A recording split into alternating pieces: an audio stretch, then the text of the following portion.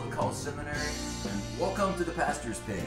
This page, and in particular this video, has been designed for faithful pastors who seek to fulfill their calling from God to minister to the flock. In fact, the entire seminary has been developed with this in mind, designed as a genuine resource for those who have received the unshakable conviction that it was God who called them to pastor, to shepherd the church of God, which he purchased with his own blood. It's my unshakable conviction that nobody can tell a pastor what he needs to be doing with his time. Pastors labor and watch out for those who, must give an account for the souls that they are shepherding. And they answer to God then, not to man. And men cannot tell a pastor what to do with his time. However, at the same time, I will boldly and unashamedly proclaim my personal conviction that Scripture reveals a pastor is called to equip the saints for works of ministry, to make disciples, to teach their people sound doctrine, lest their people are tossed about by every wind and wave of doctrine that comes by. And I trust that faithful pastors right now hearing that have a amen welling up within them. Each of the pastoral epistles, 1st and 2nd Timothy and Titus, powerfully sent forth the charge to labor in the area of sound doctrine, as Paul told Titus to be holding fast the faithful word as he has been taught, that he may be able by sound doctrine both to exhort and convict those who contradict, telling him also to speak the things which are proper for sound doctrine. Paul told Timothy to give attention to reading, to exhortation, to doctrine, taking heed to yourself and to the doctrine. Continue in them, for in doing this you will save both yourself and those who hear you. And Paul said to Timothy regarding the pattern of sound words, the sound teaching, the sound doctrine which he had received, and the things you have heard from me among many witnesses, commit these to faithful men who will be able to teach others also. Therefore, Pastor, who are you teaching? Which faithful ones are you committing the pattern of sound words to? The doctrines of the faith which were once for all delivered to the saints, who are you discipling who will be able to teach others also? School of the Called Seminary has been designed to assist pastors in the fulfillment of their calling to disciple those who will be able to teach others also, as well as to strengthen all of the flock. The seminary has been developed in a manner so that if pastors choose to, they can serve right there in their own congregation as an instructor for the seminary, as a recognized faculty member, uh, as a professor of the School of the Called Seminary, sort of a satellite campus there at your own church, serving at the local church, designed so that both the pastor and those he teaches can even earn collegiate level credits towards a theological degree. And the seminary provides this to the pastor and to all of his students, the materials needed absolutely for free. In fact, whether or not a pastor desires to become a part of the seminary, the seminary will provide free, quality theological materials in order to aid any faithful pastor in teaching and discipling their flock and the great doctrines of the faith.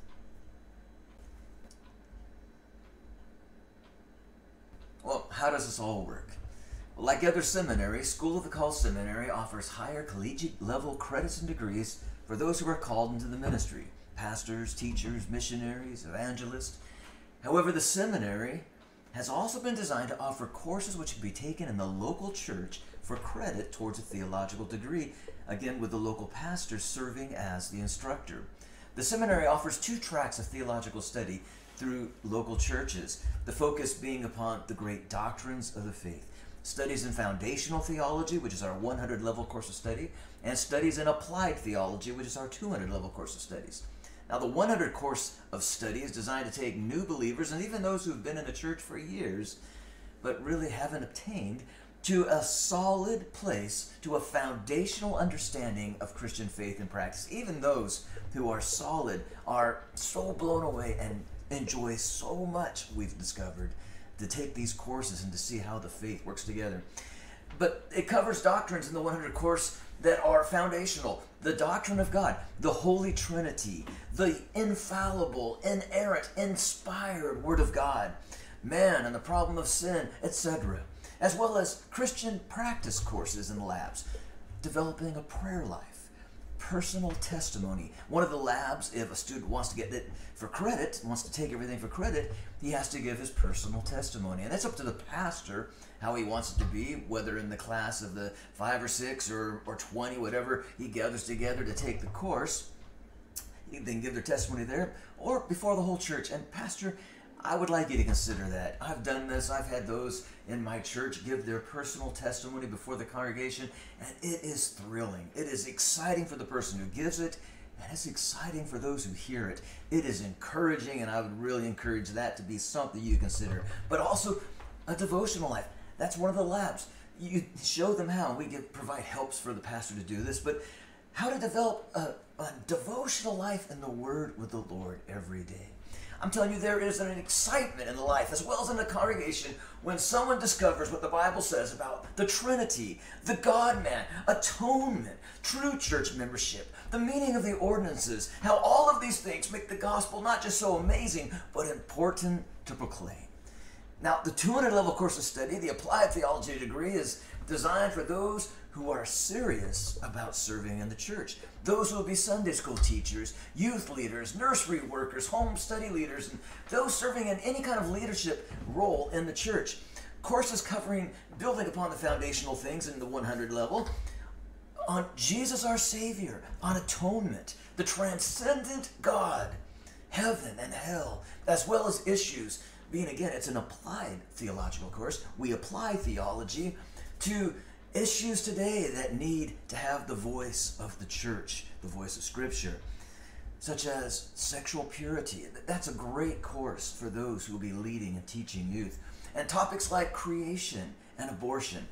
The topics covered should greatly bless those who are hungering for the Word of God and serious about being a servant in the local church and beyond. You can read more about how all of this works in the school catalog, which is on another page here on the website. But let me get to the nuts and bolts then of how all this works in the local church, especially regarding how a pastor can serve as the instructor for a seminary in his own church, even if he doesn't hold a theological degree himself. Now, this certainly calls for a brief explanation, for someone's going to be wondering how can a pastor without a theological degree become a teacher for a seminary? Well, that gets right to the heart of the unique design of the seminary, which is designed with pastors in mind, having pastoral influence in the seminary, which is one of the great missing ingredients in so much of what passes for higher Christian education. The Office of Degree Authorization in the state of Oregon regarding the process of certification as a degree granting school exempt from state oversight on religious grounds states that faculty members must either hold degrees, and not honorary degrees either, they have to be earned degrees. They must either hold degrees or, and I quote, faculty must possess sufficient compensatory qualifications to substitute for academic degrees in the fields in which the faculty members teach. Now, clearly, compensatory qualifications has opened wide the door for faithful pastors to truly serve as faculty members of the seminary for the lower level courses, the foundational courses that can be offered in the local church. For typically, pastors have gone through a number of evaluations and written a number of doctrinal statements or some similar process in order to be recognized or ordained by a local association. Furthermore, faithful pastors, many of them for multiple years, have routinely preached and taught upon the core doctrines of the faith. Faithful pastors who are able to sign the seminary's core doctrinal statement, are truly able to be approved by the seminary as qualified to serve as an instructor for foundational courses within a local church. In fact, by and large, if anything, such ministers are greatly overqualified to teach such courses. Now, a pastor might be concerned, though, about what about grading and record keeping for those they teach? But the seminary has been designed so that this is no burden to a pastor at all. All the lower level courses are simply pass or fail at the pastor's judgment when the pastor believes that those who've taken the course understand the doctrine being taught. And then the student tells the pastor when they've completed all their lab work. For the lower level courses are mostly a lecture or call it a Bible study, and then there is lab work for the student to fulfill. For it is religious, theological, Christian education that a seminary teaches. And the lower level courses are both valid and necessary to anyone gaining a true Christian education and, uh, of course, a theological degree. And there's no reason why these should not be taught within the local church. Let me just say that there's a great need for a seminary like this. There are so many seminaries out there in which students are receiving that which is not even grounded in the foundational teachings of the faith. Uh, without a foundational teaching, they become prey to every new fad, theological fad that's being taught. And the results have been terrible, horrible, worse than that. I myself, as a pastor, and I know many other pastors would testify, have seen solid youth sent off to these places only to return in a compromised or in a ruined spiritual state. Now, of course, the higher courses offered through the seminary, as within a post secondary educational institution, are graded, and all written assignments must be properly referenced, cited, style, quality, proper English, etc all that comes into focus then. For the seminary offers both collegiate level credits and degrees. However, none of that takes place at the local church. For again, the seminary has been especially designed to add no unnecessary burden to a pastor's schedule, but to genuinely help faithful pastors who seek to fulfill their charge to disciple, to equip their people. And the seminary is committed to making this a joy and a delight, a genuine blessing to the pastor and to the people as he fulfills the charge to disciple his people in the great doctrines of the faith. It is exciting. Now, consider how this works. The seminary provides free materials, lesson plans for pastors and their students to use any way they so desire. Again, whether or not they choose to be part of the seminary lesson plans that they can use to assist them in teaching the various courses. And pastors are free to teach the courses any way they so desire. For example, there on the screen is a description of course DC 101 on the Doctrine of God, which is the very first lesson in the 100 series Foundational Theology that can be taught in the local church. And the elements that are there contained in that description, these the teacher must incorporate. Now, he doesn't have to do it through the notes that we provide, but we provide everything he needs to be able to have material to build a lesson plan in which he can make sure to cover all those elements, but he's free to cover them however he wants. However, the lesson plans we provide will be a great blessing, even if he decides not to use them, just in the fact that he has them to help build his own lesson from. That was really the key in designing them. But beyond that, they make great handouts to the students and even can be the very lesson plan that a person goes through and teaches through these elements. I know a pastor who made up his own booklets that he wanted to do for each class, and he took these outlines that we provide for free, and he also gave those to each of his students as an extra resource. And having the two, what he had come up with, and having this, his students had a wealth of information on the doctrine that they were covering. This is certain Pastors need to disciple their people in the faith, which has been once for all delivered to the saints. Therefore, I would encourage you to again keep in mind the words of 2 Timothy 2 2. And the things that you have heard from me among many witnesses, commit these to faithful men who will be able to teach others also. Therefore, I would encourage you to be sure to labor in doctrine, Pastor, keeping in mind the words of 1 Timothy 5.17. Let the elders who rule well be counted worthy of double honor, especially those who labor in the word and doctrine. And last of all, as I mentioned earlier, let me briefly describe how the process works. On your screen is a picture of our lab sheet. This lab sheet is designed so that a pastor only has to have one folder in which he keeps one of these for each one of the students he teaches, in which he checks off the various lessons that he's taught them once a student he believes has grasped what he's been teaching on the subject. Now, the remaining ones under Christian practice, the pastor doesn't check off until after the student turns into him the completed log sheet, which now appears on the screen looking like this. Now, the lab is really exciting. We'll start with the 100 log sheet there, and you'll notice that there are six items that need to be checked, and you'll hand it to them.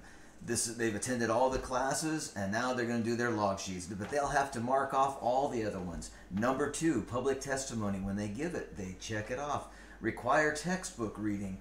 In order to get credit for the 100 level courses, they have to have read through the entire New Testament, and all, as well as any notes that the professor, the instructor, the pastor has handed out in class. But notice how exciting this is. Number four, devotional study prayer and faithful church attendance labs. They have to be coming to church for nine months faithfully, and during those nine months, this is the calendar, the typical calendar they have. On Sunday, they pray for a prepared heart and for the service, and they go to church. And Monday through Friday, they're having their daily devotional time in the Word, according to class CP 119, one of the ones that you've taught. On Saturday, They have free read. They can read perhaps from the Old Testament that day, or maybe there's a, an article from a trusted uh, Christian publication that you might recommend for them to read, or they can just give them freedom to choose whatever they want. But this is the requirement for uh, number four. And number five, you'll see there's a Christian service lab. Uh, includes bringing someone to church or teaching a class, making a meal for someone, yard work at the church. Possibilities are vast and varied. And also a Christian fellowship lab, number six, the last one. And there's certain requirements that they have to meet. And when they've met all of them, they check all the boxes, they bring it to you. You check the final box that you have on your log sheet, and then you contact the seminary, and then we send out the diploma of which the pastor signs, and you can have your own ceremony there in your church service for anyone that obtains the foundational theology degree. And the same thing works for the 200 level classes. I won't go all the way through each of these, but if you'll take a look on the screen, you'll see the 200 requirements. Now, this is a course that builds on the foundational theology program, and this one is for those who probably be teachers and youth pastors, youth leaders, work leaders in the church, Bible study leaders. This one is for those who are really serious about learning. And you, they'll have certain boxes to check off, but what's really exciting is they're on the second page of their log sheet that, that they keep track of and turn into you once they finished all their labs. There's a calendar, but it includes things that, uh, such as uh, the evangelistic principles being put into practice that they learned. It's being available an hour a week to the pastor. to say, hey, Pastor, I'm on call. They get credit for that. I'm on call all week long. If you need somebody to take care of something for about an hour, give me a call, and if I can fit it in, I'll do it one day a week. And there are other requirements that you'll notice as you go through these things. Feel free to print them off. These are truly exciting. Can you imagine a church like this, Pastor? Can you imagine your people praying for one another, praying for their families, praying for you, looking for things that they can do? Looking for people they can invite to church, looking for people they can invite out to lunch after church to fellowship with more. This is exciting, not just in the doctrine that they get established in, which will thrill them. Praise the Lord. I have seen this many times. But as well, they'll be serving in the church and this is truly exciting. And those that want to go on, they can turn those credits in towards an AA degree. Now, the pastor doesn't finish the AA degree, that's through the seminary direct. We take care of that. They receive all the materials they need for that. The whole AA degree is offered completely without cost. However, there is a suggested fee for anybody that would like to go on for the bachelor's and the master's of theology course. It is a suggested fee. This is a true ministry. We offer all of this for whatever the student can afford. We give a suggested price for the, the course. If they can meet it, great. If they can't, if they feel like they can, and they're the only ones that determine that, that's fine too, as long as they qualify. And that gets back to something else. How does a student get into the higher level courses? It's open to anyone to take the AA and theology degree, of which the foundational ones are taught in the local church first. But if they're going to get a degree through college, they've got to go through our writing lab, English and and um, all the punctuation, all the, the aspects that go into the paper, how to cite, basically how to be able to publish their work someday. They'll, they'll know the right way how to publish their work. They'll be graded but that'll be that'll be something they they deal with the seminary directly, and the pastor doesn't have to work with that. Although there's still something really neat, some pastoral influence you can give. But I'll save that for another time. Or if you contact the seminary, someone will be glad to explain a little bit more. I will be glad to explain a little bit more on that. It's my delight to talk to pastors on these things. However, the higher level courses, they cannot get in them unless they're able to state, because it's a seminary. It's for pastors, teachers, missionaries. It's not just for anybody. Those who want to go on to the higher level courses, the bachelor's and the master's of theology, they have to be able to sign the core doctrinal statement as well as state that they believe God has called them into the ministry and have their pastor or another faculty member express that, yes, I've seen evidence that God may indeed be calling them into the ministry. This is the school of the called. It's not a school open just to anyone. Like the Old Testament, the school of the prophets, as it's popularly called. It wasn't for those who were becoming prophets, it was for those who were prophets. And so the school, the seminary, is for those whom God has called for ministry. And the pastor's influence from not just at the base of the foundational theology, but on testifying that, yes, I have seen in this one's life a hunger and evidence towards the fact that God be calling it into the ministry. Last of all, I just want to say we're excited to bless those whom God has called to the ministry through the seminaries, higher level courses of study, but we're also excited to be a blessing to pastors who seek to strengthen their people in the local church and fulfillment to their call to shepherd the people of God. Thanks for watching this video. If you'd like to know more information, which I hope you will, I would suggest viewing our online catalog as well as calling for more information. The number is area code 541 714 3626. Leave a message for a return call You're receiving your machine. Thanks so much.